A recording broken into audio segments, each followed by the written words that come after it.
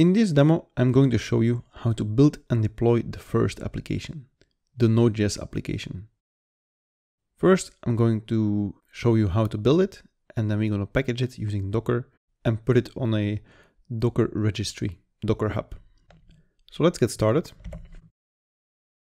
This is where we left last time. We install Jenkins and we have welcome to Jenkins. I'm going to build a Node.js application and I already have a Node.js application ready on my GitHub account. This one is a Node.js application. It has an index.js.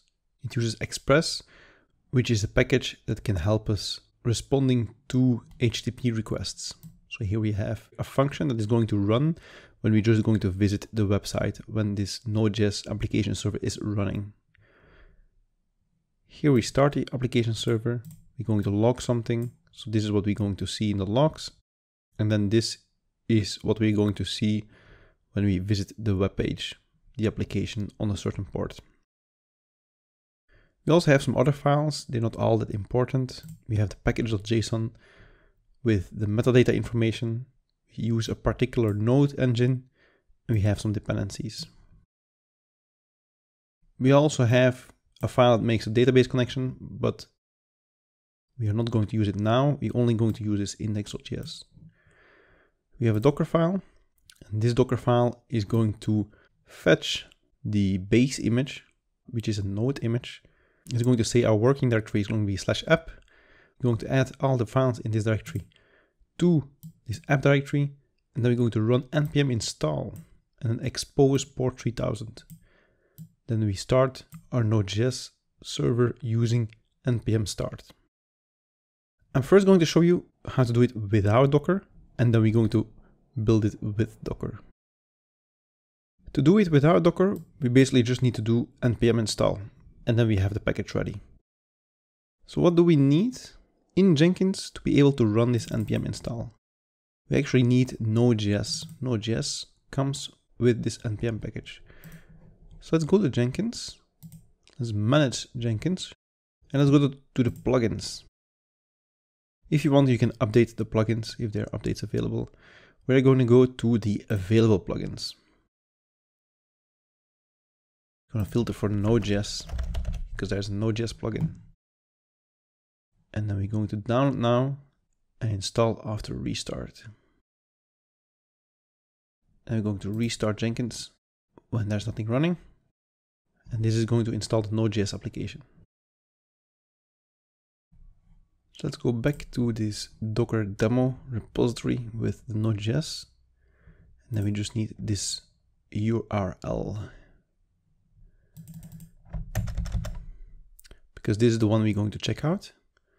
We're going to check out these files and then we are going to run npm install. This can take just a few minutes. And then now it is ready. So let's try to create a new job now that we have Node.js installed. I'll say Node.js example app is going to be a freestyle project. Press OK. And now I can configure my job manually. The goal of this course is actually to show you how to do all this automatically. Like you can use the UI, totally fine with that, but there are better ways of configuring your Jenkins jobs even without UI, using just code, which is much better if you want to automate lots of projects. But I just want to show you what the traditional ways of creating jobs, and then you will see the difference, or first you learn how to work with Jenkins a little bit, and then we are going more into the advanced stuff. So this is the normal project page where you can configure your project. If you're already using Jenkins, then this will be very, very familiar to you. We're going to say that we need our data from a Git repository. So here I copy paste this URL. And I'm actually going to go for the HTTPS one because it'll be a little bit easier that we don't need this host key verification. See, the error goes away because normally if you use SSH, you need to validate your key as well. You need to validate that github.com is the correct host.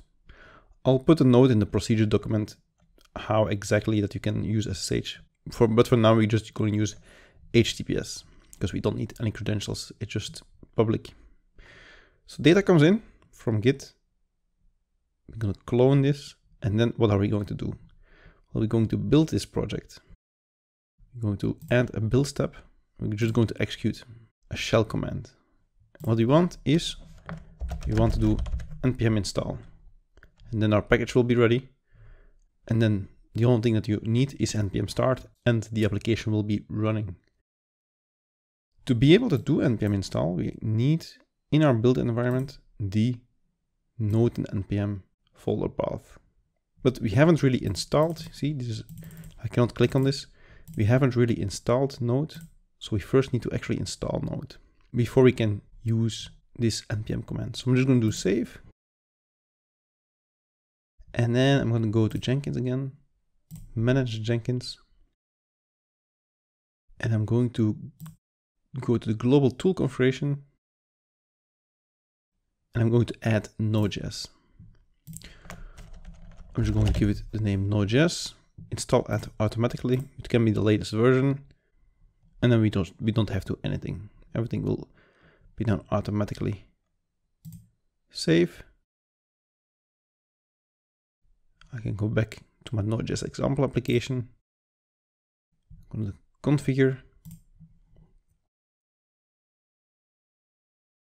going to provide the node and npm bin to the folder path. Now this is Node.js, our only installation that we have. I click save. Now we can build it. And then we can have click here on this bar to see the console output. And then we're going to see that our project is successfully built. So what happened? Jenkins checked out our github.com repository. Then you have the files available. And then it's going to run npm install. It is then going to download all dependencies necessary. So if I look for Express, for instance, it downloaded Express 4.15.3. So now in this var Jenkins Home Workspace Node.js example app, I have my application ready. Let me show it on, in the terminal. Let's go to var Jenkins home workspace. Type ls. Now we have here the Node.js example app. And now we have the example app which has been built and npm install is executed here. We see here node modules, all those modules have been installed. I could execute node here if Node would be installed on my DigitalOcean machine, I could just type npm start and then this app would start. But what I'm really going to do is I want to build, I want to package this in Docker and then I want to push this to a repository. And then we don't only package these files, we package these files, the project files, together with the Node.js binary, the OS binaries, everything together. And then it will be much more reliable if we want to execute this package, this piece of software on any machine using Docker. And that's what I'm going to explain you in the next demo.